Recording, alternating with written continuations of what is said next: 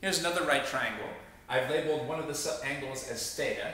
I've labeled one side as v, another side as v sub x, and another side as v sub y. So this is an x subscript, and this is a y subscript. So this would be pronounced v sub x and v sub y. And of course, as usual, this is a right triangle. Now the problem is, if you're given theta and v, find v sub x and v sub y. Please pause the video and give that a shot.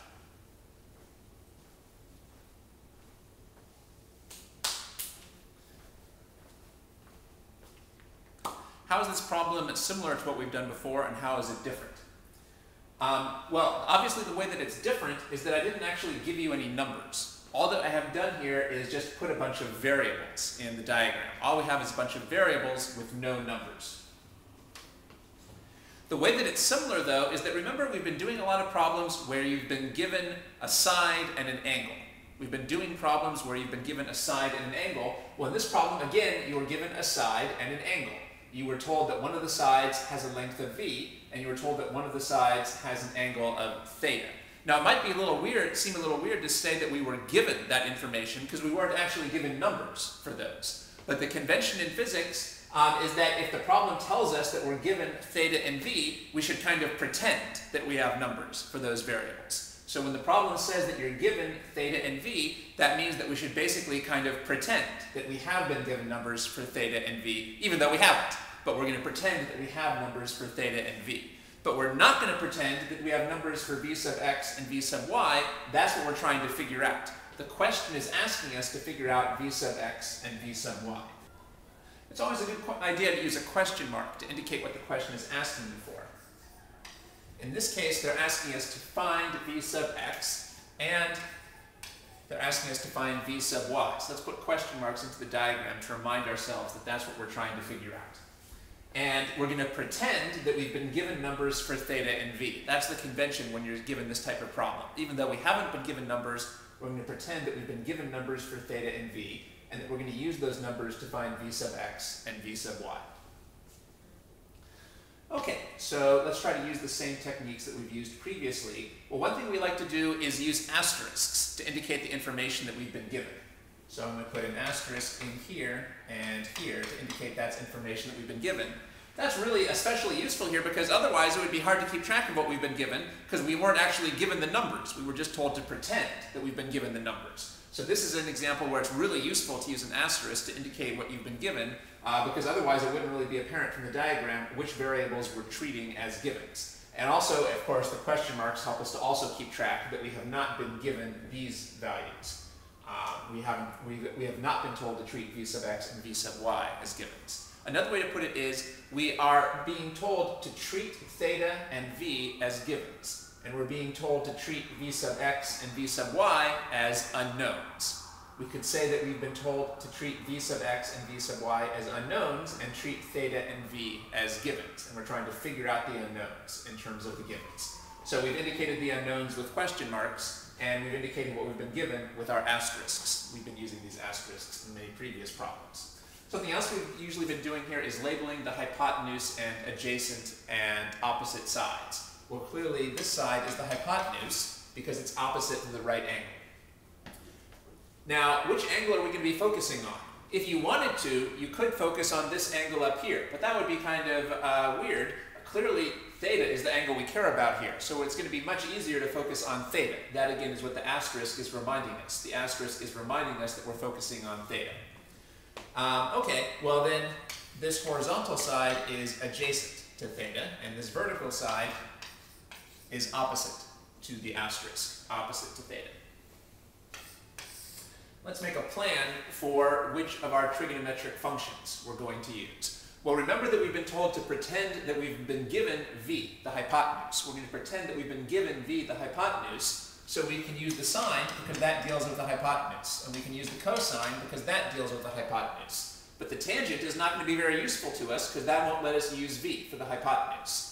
So again, since we've been told to pretend that we've been given v, which is the hypotenuse, it won't be too helpful to use the tangent, because that does not refer to the hypotenuse, but the sine and the cosine do refer to the hypotenuse.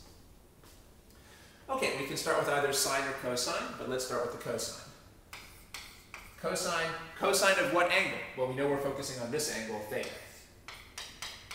Cosine, cut. Cosine is adjacent over hypotenuse. Cosine of theta. What can we plug in for the adjacent side? Well, uh, we're labeling the adjacent side as v sub x. And what can we plug in for the hypotenuse? We're labeling the hypotenuse as v. So in this case, uh, in all the previous problems that we've done, in many cases we didn't really have something to plug in for both the top and the bottom. But in this case, we have something to plug in for both the top and the bottom of this fraction. Now we'd like to get rid of the fraction. Well, we know cross multiplication is a good way to get rid of fractions. And now we multiply diagonally both ways. 1 times v sub x is v sub x. 1 times v sub x is v sub x. And multiplying diagonally the other way, we get v times the cosine of theta.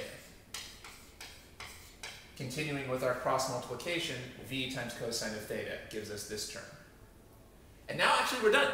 Um, since we don't actually know numbers here, we don't actually have to get out our calculator. Remember that our goal was to figure out an expression for v sub x. Well, now we have figured out an expression for v sub x. v sub x is v times the cosine of theta.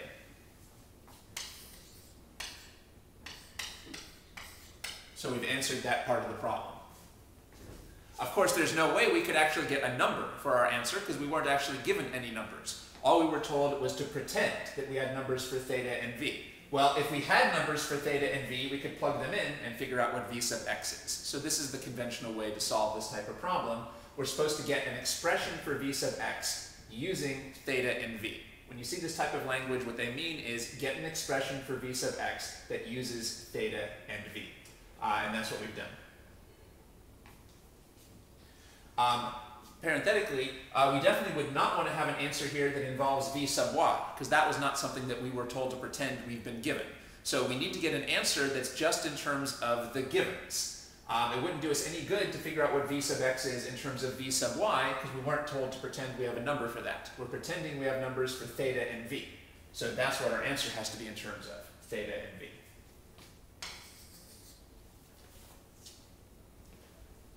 Uh, if, you were, if you were not able to do this problem on your own, maybe now you're starting to get the hang of it. So if this problem gave you difficulty at first, maybe you can try now to complete the problem. Maybe you should now try to pause the video and finish the problem now on your own.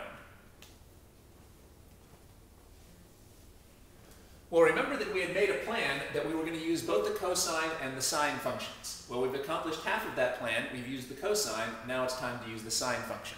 So this is something that I encourage you to, to, to, to do. Um, it's helpful to write down your SOHCAHTOA mnemonic and then use asterisks to indicate what functions you're planning to use. So we were planning to use the sine function. Uh, why were we planning to use the sine function? Uh, because the sine function um, is dealing with uh, the hypotenuse, which is one of the things that we were given. We want functions that deal with the hypotenuse because we were given that.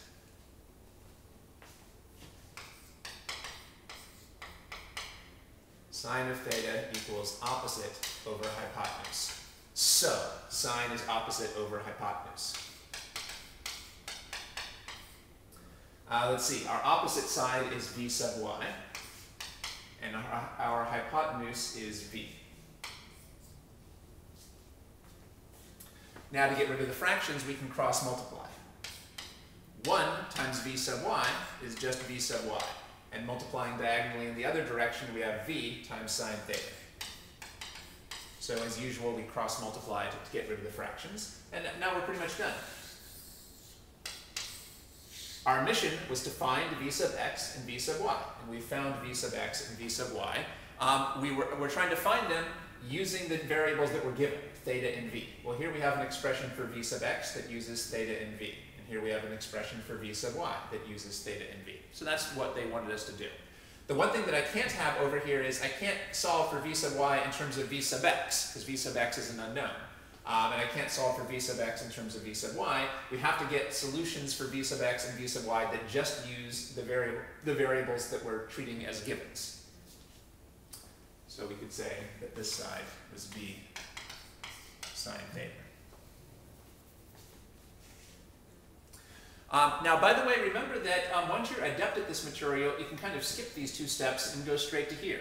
Remember that this is a problem where we've been given the hypotenuse and asked for the two legs. Well, as we've discussed, that's a very standard type of problem in physics, where you're given the hypotenuse and asked for the two legs. Um, well, we know that the way to find the adjacent leg is the hypotenuse times the cosine. And the way to find the opposite leg is the uh, hypotenuse times the sine. So after a while, you're going to get so adept um, at trigonometry that you don't need to write down these two steps and you can go straight to this step. The adjacent side is the hypotenuse times the cosine. Adjacent is hypotenuse times cosine. And the opposite side is the hypotenuse times the sine. The opposite side depends on the sine and the hypotenuse. On the other hand, if you're not comfortable with that, there's no, uh, there's, uh, no problem with writing out these, uh, those, these two preliminary steps.